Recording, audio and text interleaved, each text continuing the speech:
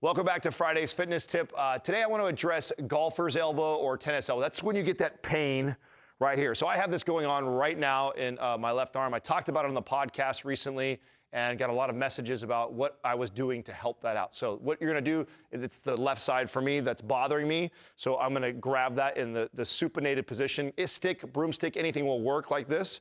And then what you want to do, is make sure the grip, the grip is tight, right? So I don't want to loose grip at all. Grip onto it real tight. And then you're going to rotate all the way over. When you rotate over, watch your grip. It's going to want to loosen up. Keep that good tight grip. And then you're going to pull it into you. Oh, and you know when it hits just right.